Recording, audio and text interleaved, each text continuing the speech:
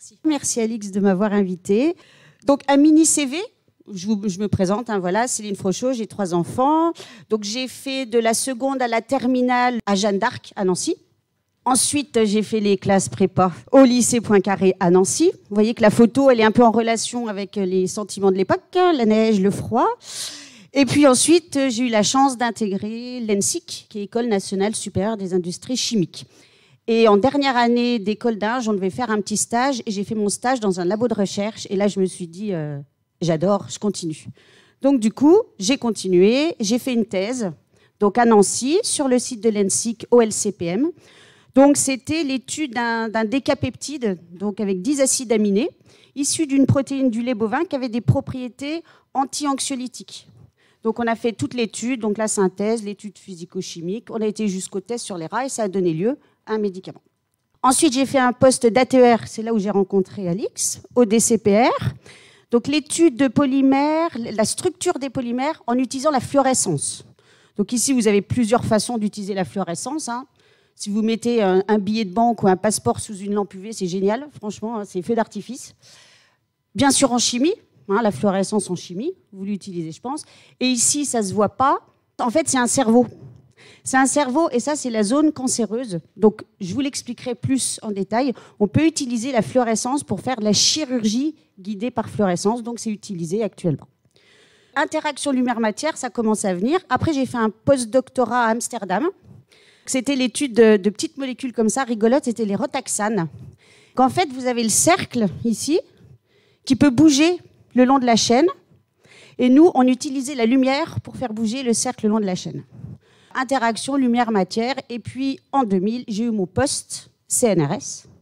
À nouveau, je suis revenue à Nancy, sur le site de l'ENSIC. Et je développe depuis 2000 la PDT. Alors, la PDT, la PDT, bah, du coup, si vous avez écouté l'introduction, vous savez ce que c'est, mais c'est pas grave. Moi, j'ai pris le fil conducteur du Petit Prince, parce que le Petit Prince, il est indémodable, il va pour les petits, les grands, les moyens. Donc mon petit prince, il va à la découverte de la PDT. Donc c'est un petit prince moderne. Donc le premier truc qu'il fait, il va dans un moteur de recherche, il tape PDT, et là il trouve alors Pacifique Daylight Time, le Parti suisse du travail, évidemment, et si vous retenez ça, j'ai gagné ma journée, la pomme de terre.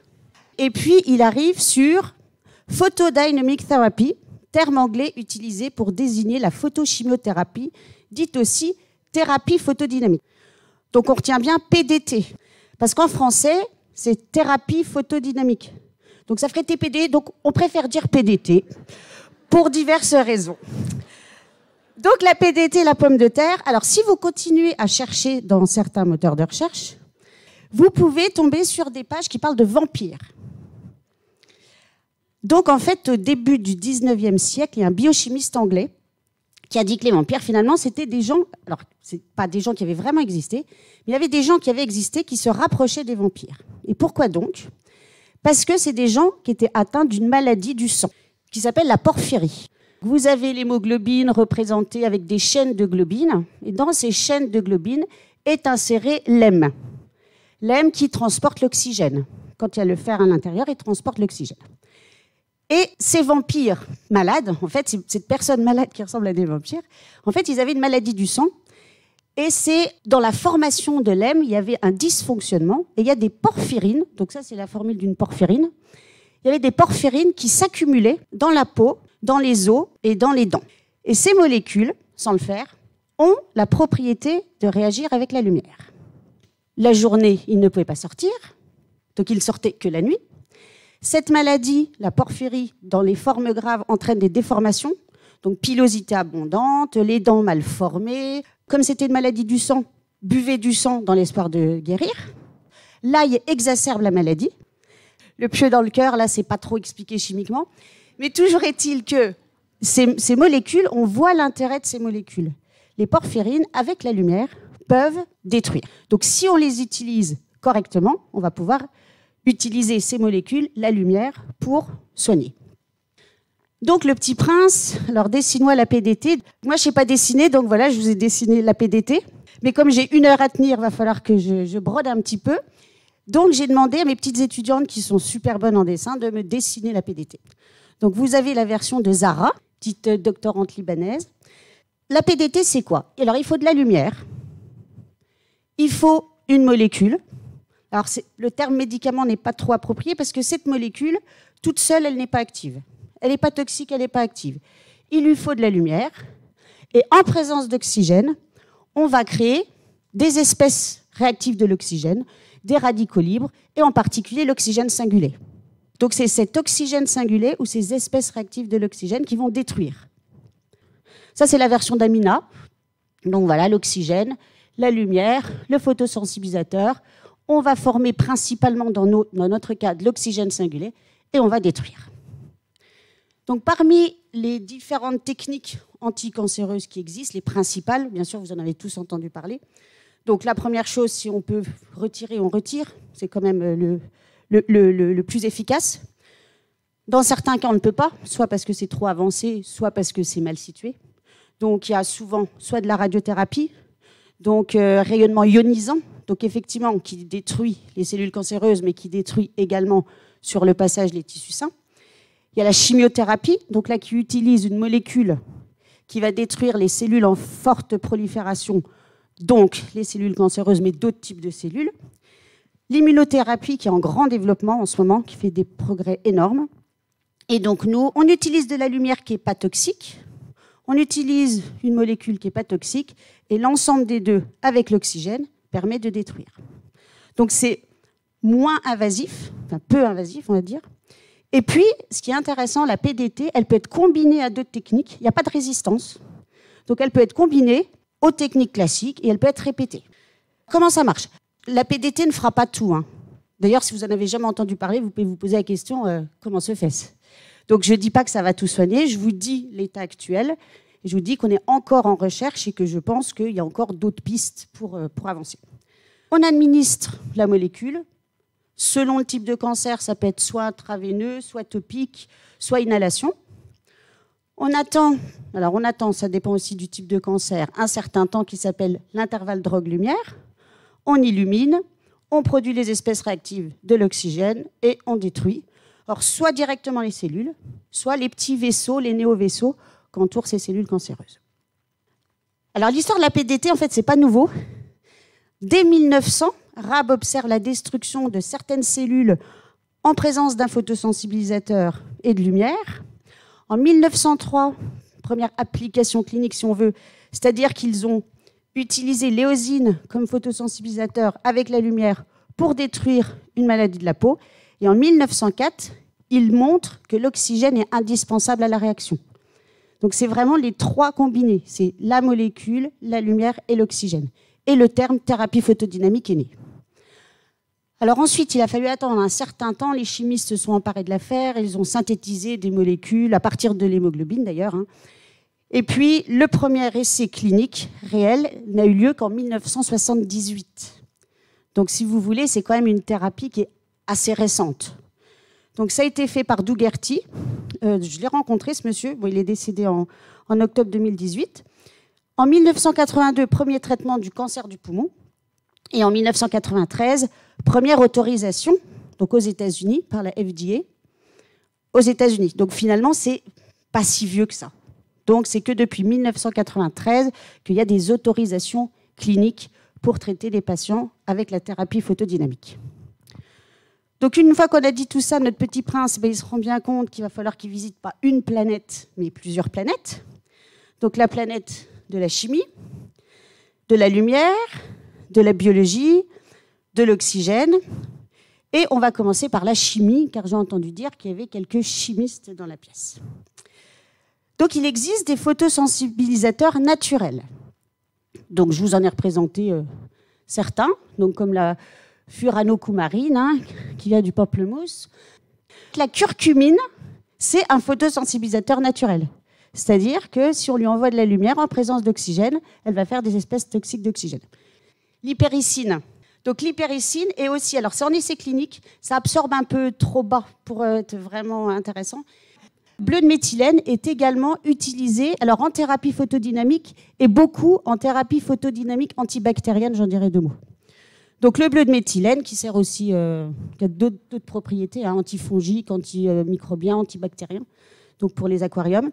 On a le photofrein, donc ça c'est le premier photosensibilisateur qui a été synthétisé et qui est toujours utilisé.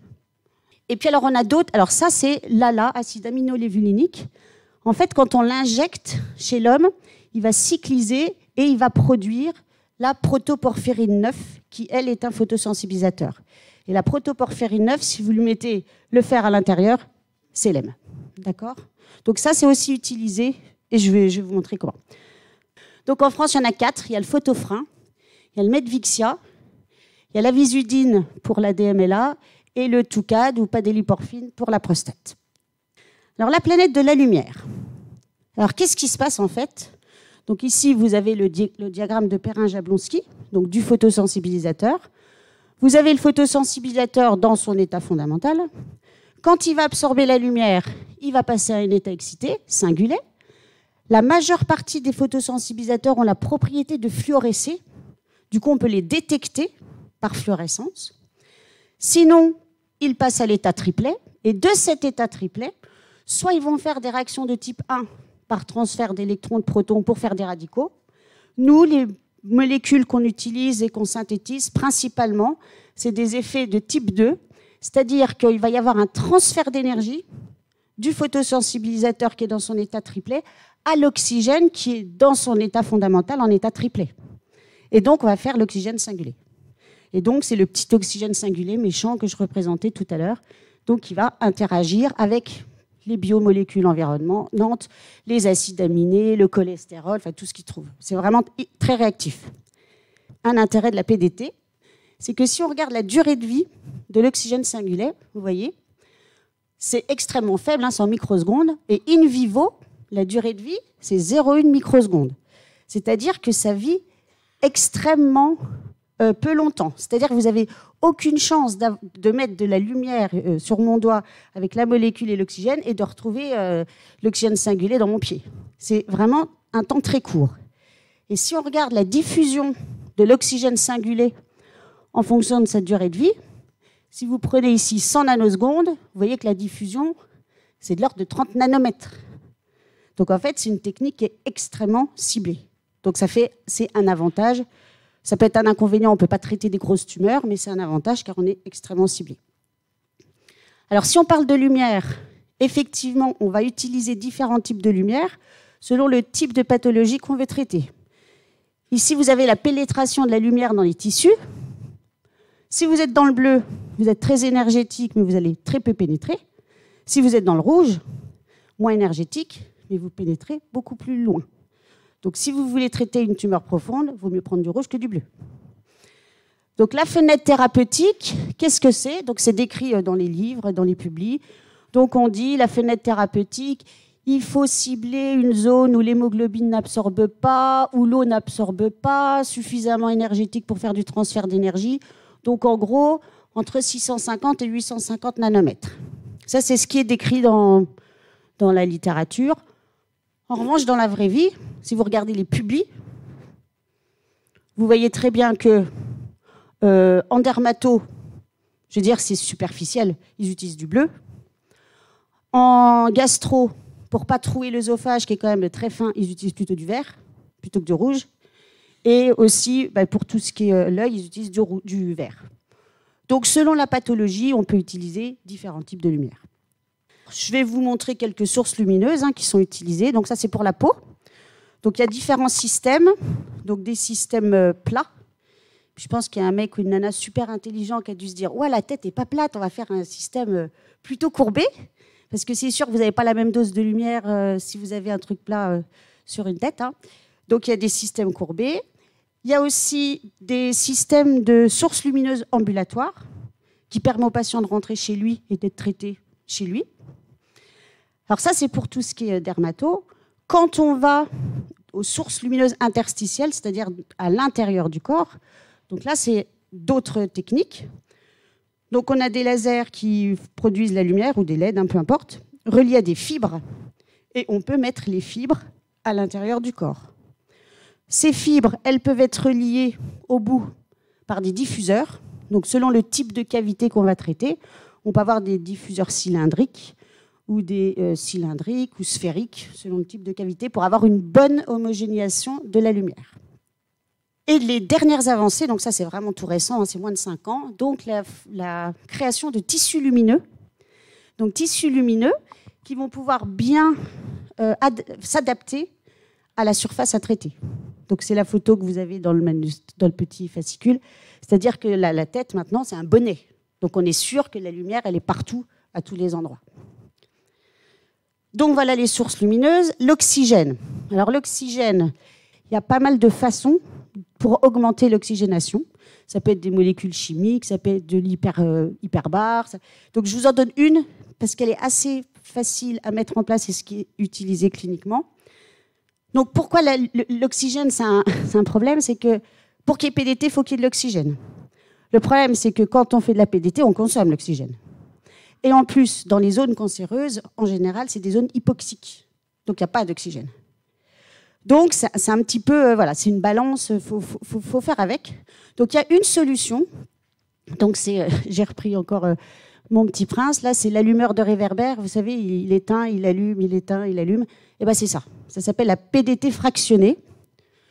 Oxygénation des tissus. Vous envoyez de la lumière à 25 joules. Vous voyez qu'en très peu de temps, en 50 secondes, il n'y a plus d'oxygène.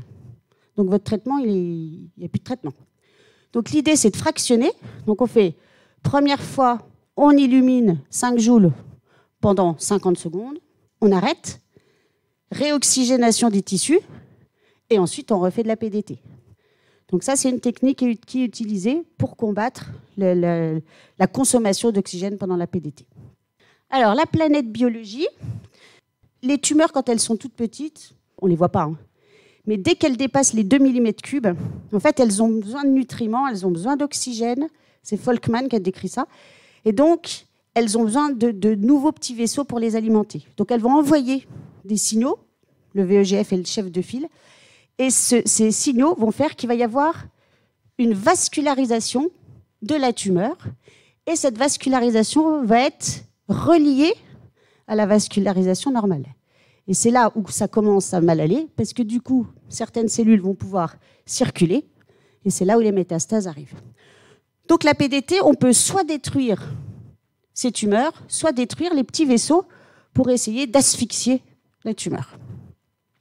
Alors bien sûr, après, euh, c'est bien beau de faire de la chimie, de la biologie, euh, contrôler l'oxygène, la lumière, mais à la fin, c'est quand même les cliniciens qui vont utiliser la PDT. Mais avant qu'ils l'utilisent, il va falloir développer des médicaments. Sur les essais cliniques, on en entend pas mal parler en ce moment. J'ai mis nous donc nous, on est tout là-haut. Donc imaginons que je trouve une molécule sympa, qui marche bien, qui n'est pas toxique. On a fait les essais sur les souris. Donc après, on dit, allez, on y va. Donc déjà, il faut que le comité de protection de la personne donne son avis. Il faut que l'Agence nationale de santé du médicament donne son avis. après, on arrive à l'effet de phase 1. Pas trop de personnes.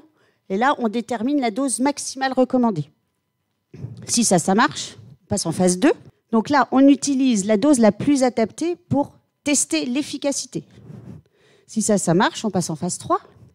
Et c'est comparatif entre deux groupes. Donc là, on a beaucoup plus de monde pour tester l'efficacité. Et si tout va bien, on a l'obtention, donc nous, c'est l'AMM, l'autorisation de mise sur le marché. Alors, je vous conseille, euh, donc moi, j'ai un peu orienté euh, quand même clinique. Je vous montrerai à la fin ce qu'on fait nous, mais je pense pour vous, c'est intéressant de savoir ce qui se passe en PDT plus que ce qu'on fait dans mon labo, mais peut-être que je me trompe. Il y a un site qui est super, je ne sais pas si vous connaissez, qui s'appelle euh, clinicaltrials.gouv. Vous trouvez sur ce site tous les essais cliniques. Alors, ça a commencé en 2000. Donc, vous pouvez entrer le nom d'une maladie, vous pouvez entrer un pays, vous pouvez entrer. Et vous avez les essais cliniques, alors avec tous les détails, où c'est, qui participe, le titre, euh, où ça en est. Donc c'est très intéressant. Donc moi j'ai fait, bah, je l'ai fait la semaine dernière, un PDT, puis j'ai mis aucun pays. Alors j'ai vu que dans le monde en ce moment il y a 550 essais qui sont recensés. Ça ne veut pas dire qu'ils sont tous actifs, hein, mais ils sont recensés. Et en France il y a quand même 31 essais recensés. Donc dans quel pays en Grande-Bretagne, en France, en Allemagne. Quel type de maladie? Alors c'est principalement la peau, les yeux, et puis ici paradontie, et puis quelques autres types de cancers. Là, j'ai reporté les, démarrages des essais cliniques. Ce site, il commence qu'en 2000, hein, donc je n'ai pas les infos d'avant. Donc on voit que finalement, il y, a, des essais cliniques qui démarrent tout le temps. Donc c'est plutôt une bonne nouvelle, ça montre qu'il y a un vrai intérêt pour cette thérapie. Et la semaine dernière, donc euh, je me suis focalisée sur la France. Donc ça, c'est vraiment des, données euh, réelles. Donc où sont faits les essais cliniques? Donc principalement Paris et Lille. Ensuite Marseille, Angers, puis après dans différentes villes. Le nombre de nouveaux essais cliniques en France. Donc on voit que c'est euh, bon entre 1 et 4 régulièrement. Il y a des nouveaux essais cliniques. Quel type de maladie? Alors ça, je vais vous en parler après. Donc les kératoses actiniques, ça c'est de la dermato. La DMLA, dégénérescence maculaire liée à l'âge. Ensuite, on a pas mal sur la prostate et le glioblastome. Je vais vous les décrire. Et ça, c'est les molécules qui sont utilisées. Donc Medvix, c'est dû parce que c'est utilisé en dermato.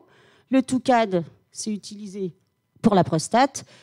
Et puis Verteporfine, c'est utilisé pour la DMLA. Donc voilà l'état de l'art actuelle en France. S'il y a une success story de la PDT, c'est en dermato. Parce que la dermato, de toute façon, les dermatos, ils ont l'habitude d'utiliser de la lumière, des lasers, donc il n'y a pas de souci, c'est facile d'accès. Alors pour la dermato, donc ici je vous ai mis le cycle de la formation de l'EM. Donc ici vous avez, je vous en ai parlé tout à l'heure, l'acide aminolévulinique. Donc cette petite molécule, on va pouvoir la mettre de façon topique sur les zones à traiter. Et on va faire la formation de la protoporphyrine 9, qui est un photosensibilisateur. Donc en fait, on va forcer la formation de la PP9 dans les zones à traiter. Donc cette euh, technique, bon à très bon résultat par rapport à la cryothérapie.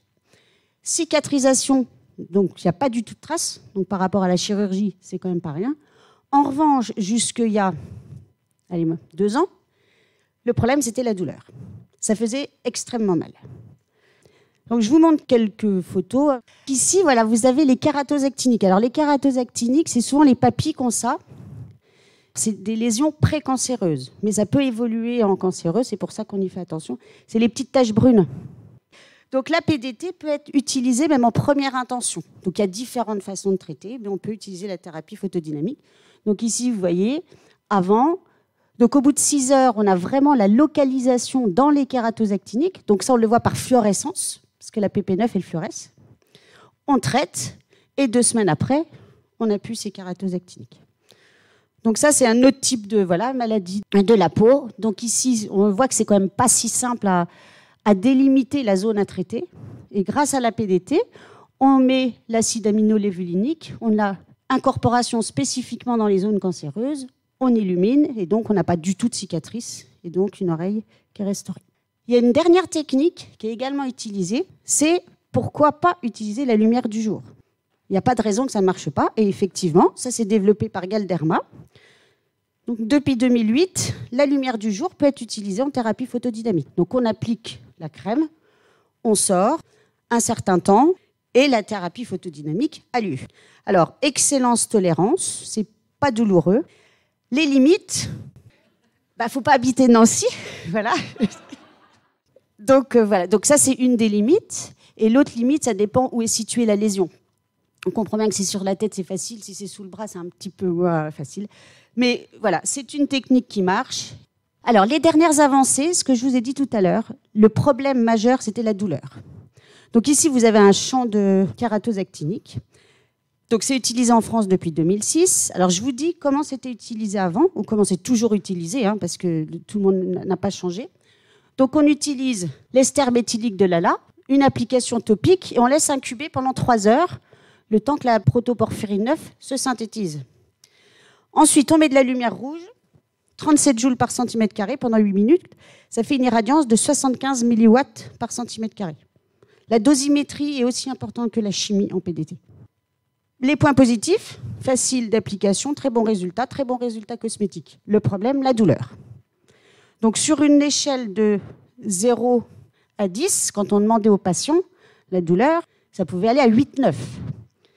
Donc c'était extrêmement désagréable, il y avait même des patients qui ne voulaient plus faire de la PDT à cause de cette douleur.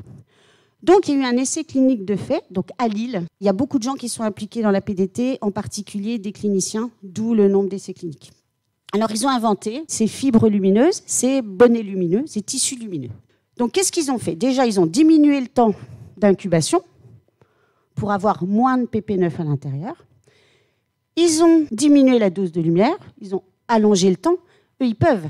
Parce que si on a un bonnet sur la tête pendant euh, deux heures ou trois heures, c'est moins grave que d'être chez le dermato qui doit vous traiter. Il ne peut pas vous garder pendant deux heures dans son cabinet.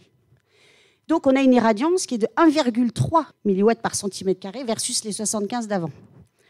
Donc un essai clinique a été fait. Donc ça c'est le système d'avant, le nouveau système.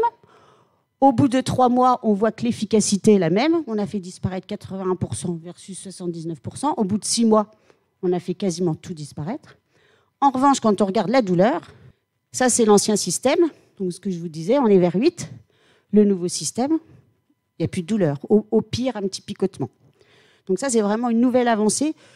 Tous les dermatos n'ont pas ce système, mais il faut quand même savoir que c'est une avancée euh, énorme. Ensuite, le traitement du cancer de la prostate. Donc il faut savoir que c'est autorisé en France depuis novembre 2017. Donc là, il y a eu beaucoup de centres français qui ont été impliqués. Donc il y avait euh, plus de 400 patients. Donc pas mal de centres français qui ont été impliqués dans la phase clinique de phase 3. Donc on fait le diagnostic, on fait une biopsie, on va insérer des fibres dans la zone à traiter, donc des fibres lumineuses, pour traiter uniquement la zone malade. Donc ça se passe comment? Il y a un logiciel qui va permettre de calculer le nombre de fibres qu'il faut, la position, la longueur. Le patient, il arrive le matin, il est endormi. Le Toucad est injecté, donc c'est un photosensibilisateur qui est injecté de façon intraveineuse. Et dix minutes après, grâce à ces fibres lumineuses, on va illuminer la lésion. Donc 22 minutes, et le traitement est fini, et le patient est réveillé.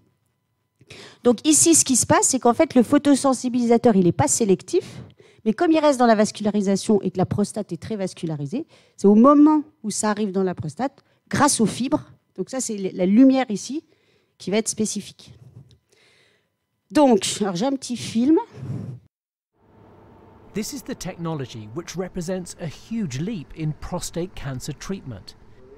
It involves a drug derived from bacteria found in the darkness of the ocean floor. This laser optic fiber is inserted into the prostate. The light activates the drug which kills the cancer. When Gerald Capon was diagnosed with early prostate cancer, he was worried it might develop and he'd need surgery or radiotherapy, which can cause incontinence or impotence. Instead, he became one of the first successfully treated with the new light therapy and had no long term side effects. Well, I feel incredibly lucky that I was accepted for the trial. I'm totally cured. I can look forward to the remaining years of my life, hopefully cancer free. One in eight men will be diagnosed with prostate cancer, so this highly effective new treatment, known as photodynamic therapy, could be hugely significant. The light sensitive drug is injected into the bloodstream. It's derived from deep sea bacteria, which are efficient at converting light into energy. Through a thin tube, a laser light is inserted into the prostate. The light activates the drug, which destroys the cancer cells. The journal Lancet Oncology reports that half the patients given photodynamic therapy were completely clear of cancer two years later, compared to about one in seven of those given standard care. Crucially, it did not cause major side effects. The harms with traditional treatments have always been the side effects um, urinary incontinence, in other words, leaking urine and requiring pads, uh, sexual difficulties, which occurs in the majority of men who have treatment to have a new treatment now that we can administer to men who are eligible that is virtually free of those side effects is truly transformative. The treatment is likely to cost around £20,000 a patient and is expected to be approved in Europe following these impressive results. Its use is also being trialled in other cancers. So it won't be cheap, but for prostate patients, photodynamic therapy represents a powerful new weapon in the war on cancer. Fergus Walsh, BBC News. Donc on a eu l'autorisation donc de mise sur le marché. Mais après, il y a toute la question du remboursement. Parce que si c'est pas remboursé, c'est pas forcément très utilisé. Donc il y a eu l'autorisation de santé qui a donné son avis. Donc c'était en septembre 2019. Et l'avis, c'était que l'intérêt thérapeutique du système ne pouvant être établi, son intérêt de santé publique ne peut être déterminé. Donc l'avis est négatif. C'était l'essai clinique était fait sur des, cas de, cancer euh, peu, peu importants. Donc en fait, c'est peut-être l'essai clinique et aussi toute la façon de faire l'essai clinique qui n'était peut-être pas forcément adaptée. Manque de bol également l'année dernière donc février 2020. Même aux États-Unis, la FDA n'autorise pas le TUCAD. Alors eux, c'est d'autres raisons. La raison principale, c'est qu'ils disent que ça a été suivi à deux ans. Ils veulent que ça soit suivi à plus long terme. Qu'il n'y a pas assez d'Américains dans les essais cliniques, donc c'est pas forcément reproductible. Qu'il manque des datas et qu'il y a des faux négatifs. Mais il faut savoir quand même que la société qui a fait tous ces essais cliniques sur la prostate, ils ont déjà investi la moitié d'un billion de dollars. Donc je pense que les essais cliniques vont continuer, peut-être d'autres types d'essais cliniques, pour faire avancer cette molécule. Ensuite, glioblastome. Glioblastome, c'est cancer du cerveau très agressif. C'est un des plus graves. les traitements ne sont pas encore assez efficaces. Donc pareil, il y a un essai clinique en cours qui a démarré le 24 janvier 2017. Donc normalement, le glioblastome, ce qu'on fait, on fait l'ablation chirurgicale guidée par fluorescence. C'est ce que je vous disais tout à l'heure. Donc on injecte, alors il y a deux types, c'est soit l'ALA, soit le photofrein. Ça permet de marquer par la fluorescence les zones à traiter et puis de faire la chirurgie guidée par fluorescence. Donc c'est une aide chirurgicale. On fait cette euh, chirurgie Ensuite, on fait de la radiothérapie et de la chimiothérapie. Mais la survie médiane reste de 14 à 15 mois. Donc c'est encore assez peu par rapport euh, au traitement. Donc il y a une place, en fait, c'est ce qu'on appelle les impasses thérapeutiques. Donc il y a une place pour des nouveaux traitements. C'est pour ça qu'un essai clinique a été mis en route, donc à Lille. Ce qu'ils ont fait, c'est qu'ils ont intégré la PDT dans le protocole déjà existant. C'est-à-dire, on commence, on injecte l'acide aminolévulinique, on fait de la résection guidée par fluorescence. Ensuite, on fait de la PDT avec la lumière rouge. On fait la radiothérapie, chimiothérapie et on évalue. Ce qu'ils ont développé à Lille, c'est un système particulièrement euh, novateur pour illuminer. Donc en fait, c'est un ballonnet et ce ballonnet va pouvoir se gonfler et se dégonfler pour pas faire trop de pression à l'intérieur du cerveau et avoir une répartition de la lumière homogène. Cet essai clinique, il y a eu des résultats. Donc ça a été fait pour la première fois. Donc c'est safe, cest à dire que ça c'est le premier truc qu'on cherche. Hein. Et maintenant, euh, ils développent un, essai clinique de phase 2, donc c'est en cours avec la Belgique, avec plus de patients, pour pouvoir montrer l'efficacité de cette PDT. Alors très récemment, parce que c'était la semaine dernière, donc ils ont développé une start-up, Emerion est une start-up qui a été créée à Lille, et le 28 octobre, donc c'est euh, il y a quelques jours, ils ont eu un prix, donc le prix Gallienne aux États-Unis. Et donc ils vont s'allier avec des hôpitaux de New York pour montrer l'efficacité de la technologie dans le traitement du glioblastome. Donc ça avance. Dans certains cas, on est un peu déçu, puis dans d'autres cas, on sait que ça avance. Donc grâce à ce prix-là, ils vont pouvoir euh, avancer d'autant plus.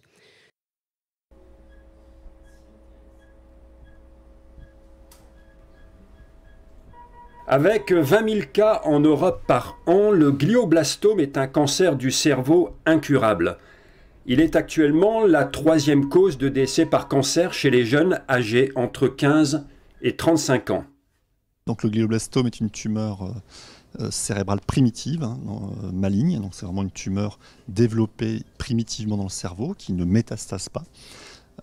c'est une tumeur très maligne, malheureusement à ce jour incurable avec une médiane de survie allant de 15 à 20 mois selon les situations cliniques.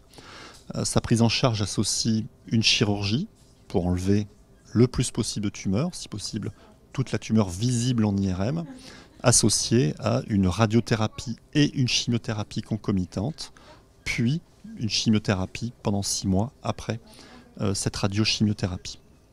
À Lille, des médecins-chercheurs travaillent au développement de nouvelles prises en charge pour améliorer la survie des patients atteints de ce cancer. En partenariat avec l'Université de Lille et l'INSERM, le CHRU de Lille évalue dans le cadre d'une recherche clinique la technique de la thérapie photodynamique.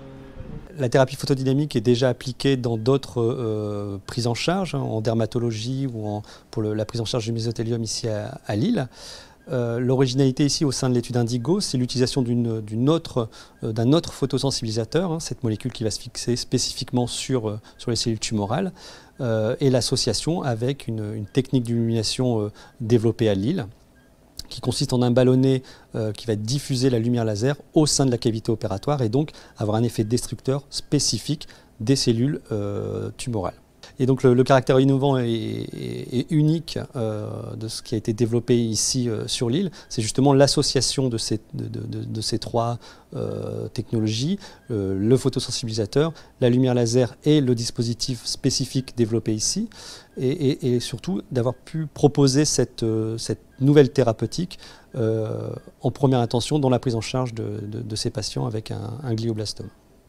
Ces procédés innovants pourraient être rapidement proposés aux patients et devenir une solution thérapeutique possible pour ces tumeurs du cerveau jusqu'alors incurables.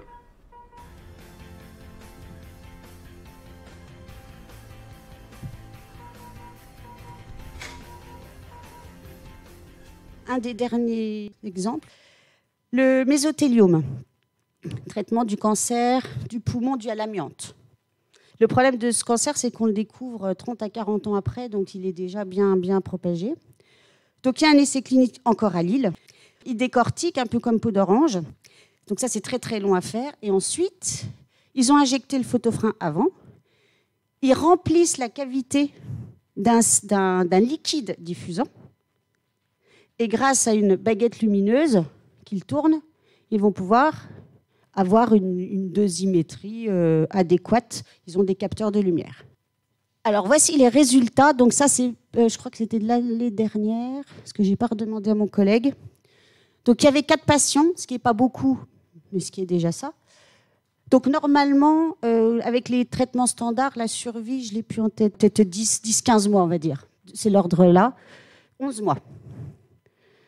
Là, avec le traitement avec la PDT, donc effectivement, sur les deux personnes, il y en a deux qui sont décédées, mais après 24 mois et 35 mois, et il y en a deux qui sont toujours en vie, avec 56 mois et 55 mois.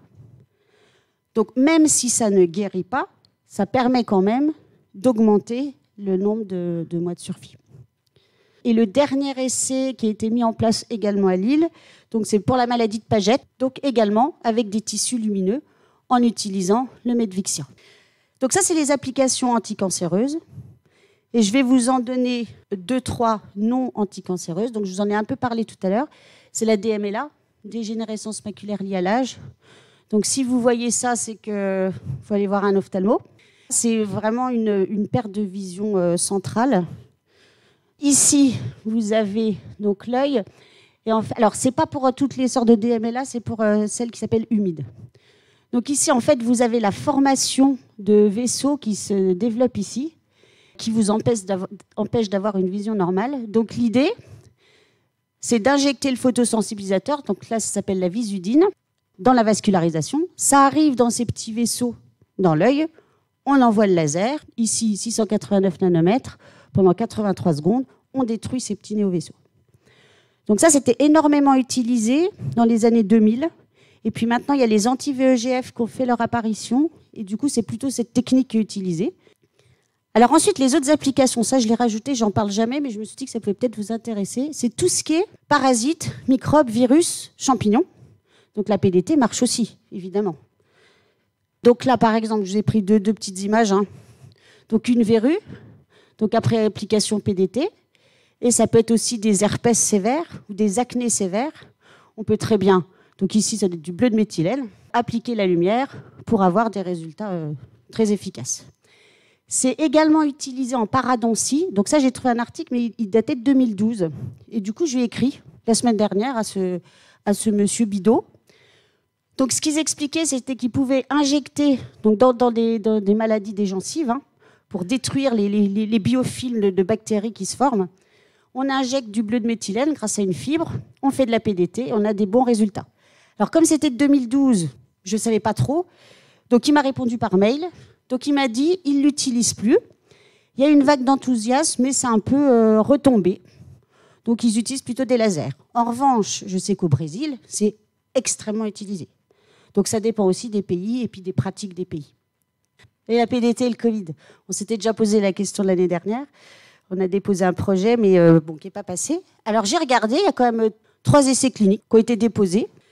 Alors les trois, c'est avec du bleu de méthylène. Donc il y en a un en Égypte, un en Russie, un en Arabie Saoudite. Pour l'instant, il n'y a pas. Alors, ils recrutent. Celui-là, il est complété, mais j'ai pas trouvé de résultat. Et celui-là, il recrute pas encore. Donc, c'est une information. Voilà, c'était de l'information. En revanche, ce qui a été fait, et ce qui est fait, alors je vous ai pas mis les films, mais vous, euh, l'utilisation pour désinfecter les narines, là où le, virus peut se mettre euh, au début. Donc, bleu de méthylène dans les trous de nez, des fibres, on, illumine et on détruit. Et donc, ça, c'est utilisé. Alors, pas forcément contre le, pour le Covid, mais pour éliminer des virus, des bactéries. L'autre solution, et ça, nous, on a travaillé là-dessus l'année dernière, mais le projet n'est pas passé, l'année dernière, des masques dans lesquels on met des, bah, des photosensibilisateurs. Donc là, en l'occurrence, c'est des, il me semble que c'est des nanoparticules. Et sous l'effet soit de la lumière, même de la lumière des spots ici, ou la lumière du jour, on détruit directement sur le masque. Alors c'est fait en France, pas pour des masques, mais pour, je ne sais pas si vous en avez entendu parler, j'avais vu l'info. Donc c'est une boîte euh, qui développe des, tissus bah, pour les, dans les métros, dans les trains. Donc à l'intérieur duquel ils ont mis des nanoparticules de TiO2. Alors c'est à peu près le même principe, hein, photocatalyse, c'est pareil, on crée des réactifs, euh, des, des, espèces réactives avec la lumière. Donc ça c'est pour autodétruire directement sur le tissu des virus, des bactéries. Voilà. Donc la recherche en France, on, est, ben, on organise un congrès là bientôt, le 25 novembre. En général, dans ce genre de congrès, on est une centaine. Voilà, chercheurs qui, qui, échangent. Donc chacun a sa petite spécialité. Il y a beaucoup de chimistes. Euh, les biologistes, il y en a à Nancy, il y en a un petit peu à Limoges, un peu à Lille, un peu à Montpellier. Sinon, c'est principalement des chimistes. Et vraiment, principalement les essais cliniques, c'est vraiment fait à Lille, car ils ont réussi à regrouper dans un même labo des chimistes, des cliniciens, ce qui n'est pas si facile que ça à faire. Donc nous, la PDT Team, en fait, ça n'existe pas, mais ça marche. C'est-à-dire que c'est trois labos différents avec des gens qui travaillent vraiment ensemble. On nous a pas dit, vous créez un logo, puis après, euh, vous faites. On, a fait, puis après, on a créé notre logo. Donc, il y a des gens de, bah, de mon labo. Hein. Nous, on fait. Donc, ceux qui visitent l'ENSIC jeudi matin, vous verrez les installations qu'on a justement pour faire toutes ces études photophysiques. On a le LCPM plus spécialisé dans les peptides. Donc nous, on utilise les peptides, euh, on en a entendu parler tout à l'heure, pour cibler. C'est pour cibler certains récepteurs. Et puis on a les biologistes du CRAN, donc qui, eux, vont faire les manips euh, in vitro, in vivo. Et on est en relation, bien sûr, avec des cliniciens. Alors, comment, nous, qu'est-ce qu'on fait plus spécifiquement à Nancy? Donc, on va, depuis 20 ans, on essaye d'améliorer le ciblage. On se dit, il faut injecter le moins de doses possible et que ça aille plus spécifiquement sur le lieu qu'il faut traiter. Donc, on a deux façons de cibler. La façon passive, alors une des façons, c'est les nanoparticules. Parce que les nanoparticules, par effet EPR, euh, e elles vont aller spécifiquement dans les zones cancéreuses. C'est une solution, on l'utilise. L'autre solution, c'est de faire de l'actif, donc soit de façon directe on va développer des molécules qui vont aller spécifiquement sur des récepteurs qui sont surexprimés sur les tumeurs, soit on va développer des molécules qui vont aller spécifiquement sur des récepteurs qui sont surexprimés sur les néovaisseaux. Donc d'un côté, on traite la tumeur, l'autre côté, on coupe les néovaisseaux, on détruit les néovaisseaux et du coup, on asphyxie la tumeur. Deux façons de faire différentes que l'on fait au labo. Alors ça, c'est le projet PhotoBrain. Donc si vous voyez les publis, la première, c'était 2006. Donc on travaille dessus depuis un bon moment. Donc traitement du glioblastome. Pourquoi? Un passe thérapeutique. Il y a de la place pour les autres traitements. C'est pour ça qu'on s'est intéressé. On a eu de l'argent de la Ligue, euh, de l'Europe, de l'Université de Lorraine. L'idée, c'est qu'on va trouver une petite molécule qui va cibler des récepteurs qui sont surexprimés sur les néovaisseaux. Donc on a développé ce genre de molécule. Donc ici, vous avez un genre de porphyrine, c'est une chlorine, mais voilà, un macrocycle tétrapyrolique, un petit bras espaceur. Et pour cibler le la neuropiline 1, donc c'est surexprimé sur les néovaisseaux, on va attacher un peptide.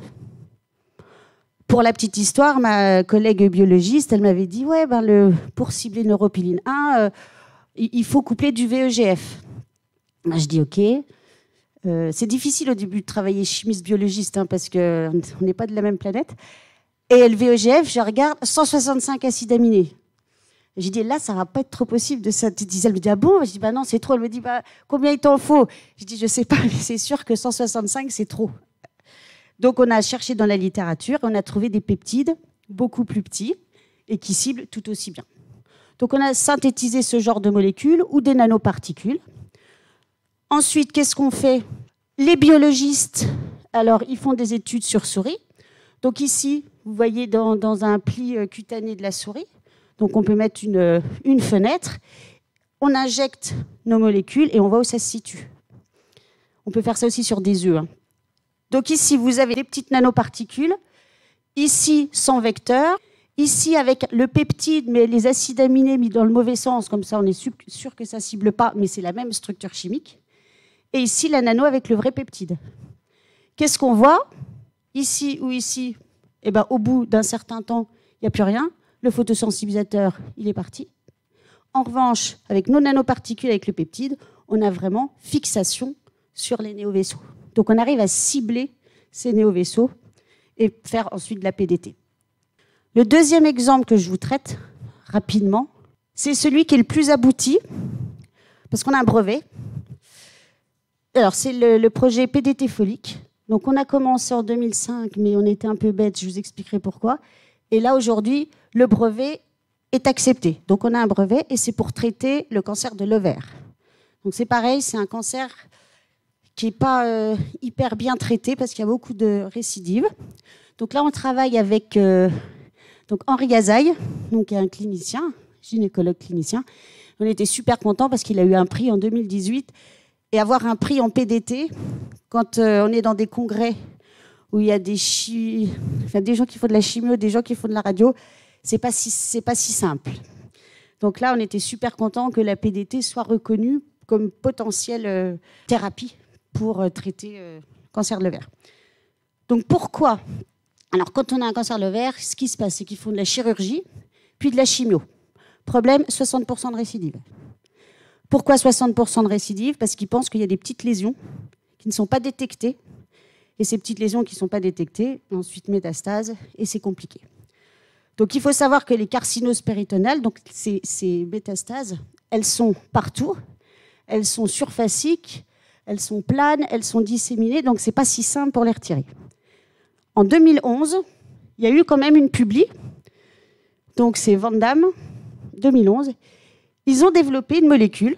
Ici, vous avez l'acide folique. Donc l'acide folique, c'est la vitamine B9. Et ici, vous avez la fluorescéine. Donc la fluorescéine qui est déjà utilisée pour les angiographies. Fluorescéine pour faire la fluorescence et l'acide folique, car les carcinoses péritonéales ont des récepteurs à l'acide folique surexprimés. Donc grâce à ça, ils pouvaient déjà au moins avoir une chirurgie guidée par fluorescence. Donc nous, on a vu ça, on s'est dit bingo, on va faire la même chose, mais au lieu de mettre la fluorescéine, on va mettre un photosensibilisateur, comme ça on va pouvoir faire et de la détection et de la PDT. Donc comment ça se passe? Qu'ici, vous avez euh, le système euh, féminin. Qu'ici, j'ai représenté les petites métastases. Donc en fait, vous voyez que c'est partout et il y a beaucoup d'organes vitaux. Donc on ne peut pas avoir un photosensibilisateur qui va partout parce que la lumière, on va l'envoyer dans toute la cavité. Donc ici, la lumière, elle n'est pas sélective. On ne va pas pouvoir pointer chaque métastase avec une fibre. Donc si la lumière n'est pas sélective, il faut absolument que ce soit le photosensibilisateur qui soit sélectif. Et jusque-là, ça n'existait pas. Les photosensibilisateurs actuels ne sont pas sélectifs. Donc nous, on a développé un photosensibilisateur sélectif. On a le brevet. Alors ça, c'est les molécules qu'on avait fait en 2005, pardon. porphyrine avec acide folique, porphyrine, acide folique. On a montré, quand on regardait la survie cellulaire en fonction de la lumière, que cette molécule-là était très efficace. On pouvait vraiment détruire les cellules tumorales. On avait montré également, quand on regarde ici, c'est l'incorporation dans les différents organes, le photosensibilisateur seul versus le photosensibilisateur couplé. Donc on voit qu'on a vraiment une différence d'incorporation. Donc ça, c'était super, sauf qu'on était un peu bébête à l'époque, c'est qu'on avait publié. Et quand on a publié, donc après j'ai utilisé une thésarde pour me faire plein de molécules, et la meilleure a été brevetée. Donc maintenant, on peut y aller. Et l'illumination avec les tissus lumineux que vous avez déjà vus euh, tout à l'heure. Donc on a résolu à peu près tous nos problèmes. Donc voilà, on a le photosensibilisateur, on a la lumière, on a l'argent donné par les SAT, on a réussi à, avoir de l'argent. On a l'industriel pour faire la synthèse GMP et c'est en cours. Il faut trouver des sous. Et le lien qui va après, comment promouvoir la PDT Donc, euh, moi j'ai des enfants qui sont encore petits, qui aiment bien jouer, et moi aussi je suis joueuse. Donc, on a développé un jeu de cartes des sept familles. Donc, c'est un jeu de cartes qui joue euh, en famille. Hein. Voilà, donc cette famille a gynécologie, dermatologie, euh, voilà. Véridique vous, vous pourrez venir voir Et dans chaque famille, vous avez mais j'ai pris un stagiaire euh, stratégie de communication pour faire ça, hein, c'est pas moi qui ai fait. Donc vous avez le type de composé qui est injecté, dans quel organe, où on peut en faire en France, dans quel stade c'est, est-ce que c'est recherche clinique, préclinique, l'oxygène, quel type de lumière on utilise, est-ce que c'est un laser, est-ce que c'est la lumière du jour, est-ce que si, est-ce que ça, et comment on injecte la molécule, est-ce que c'est une seringue, est-ce que c'est... Donc vous avez toutes les informations. Il est vendu euh, pour 10 euros. Voilà. On ne fait pas de bénéfice dessus, hein, mais c'est une façon pour, euh, pour montrer aux gens ce que c'est, pour promouvoir. Et je finirai par les remerciements.